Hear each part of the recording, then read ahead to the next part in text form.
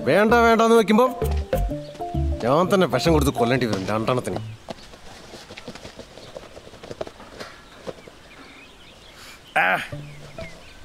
പന പട്ടികൾ.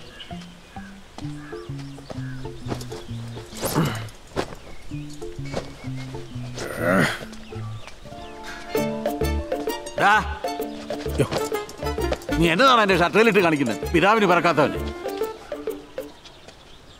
ക്ഷമിക്കണം പിതാവേ. അങ്ങയുടെ ശ്വാനസന്തതികളെ അടിയന്റെ പാദങ്ങളിലൊന്ന് മുള്ളി. അതങ്ങയുടെ തിരുവസ്ത്രത്തിലോട്ടൊന്ന് തിരികെ പതിപ്പിച്ചതാ. ക്ഷമിക്കണം. ഷർട്ട് എടുക്കടാ. പിന്നെ?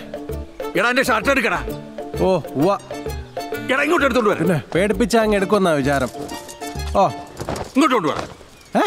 ഇങ്ങോട്ട് കൊണ്ടുവരാൻ എന്തോന്ന് കഴിയടാ എന്ത്? പിന്നെ എന്റെ പട്ടി കഴുകും. എന്റെ ഷർട്ട് കഴുകടാ. നല്ല വൃത്തിയായിട്ട് കഴുകടാ. ഓ. വൃത്തിയായിട്ട് കഴുകിയത് എന്തോ തേച്ചൊരിച്ച് കഴുകടാ. ഓ തേച്ചൊരിച്ച് തന്നെയാ കഴുകുന്നത്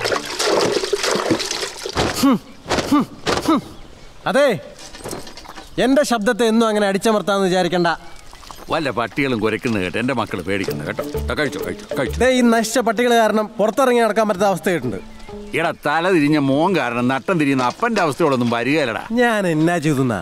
ഈ ആറ് നാലിന്റെ അഞ്ച് ഏഴിന്റെ ഫോട്ടോ എടുത്ത് ഈ ഓണം കയറാൻ വലിയ സ്റ്റുഡിയോ ഇട്ട് ഒതുങ്ങി കൂടെ എന്നെ കൊണ്ട് പറ്റത്തില്ല. പിന്നെ എന്റെ പൊന്നുമോൻ എന്നാ വേണം?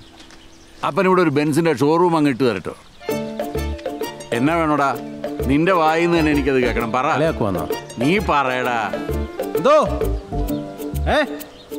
എന്തോന്ന്? ഏ?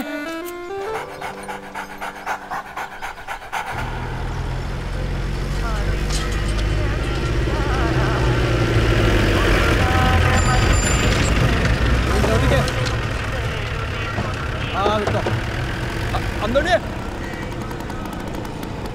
അവിടെ എത്തണോ ഡോ ആ ക്യാമറ കൊടുക്കുന്നുണ്ടോ?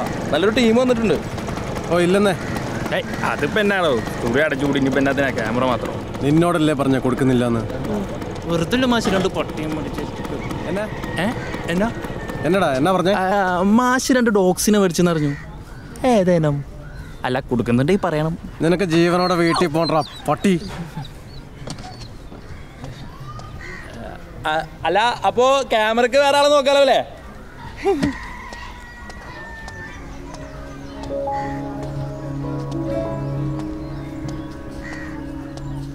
ഫ്രീ സർവീസ് എന്തിനാ ഫ്രീ സർവീസ് എന്ന് പറഞ്ഞേ. പുള്ളിക്കാരൻ ചുമ്മാ പറയുന്നേ. ചേച്ചിയും എന്നാ സംഭവം?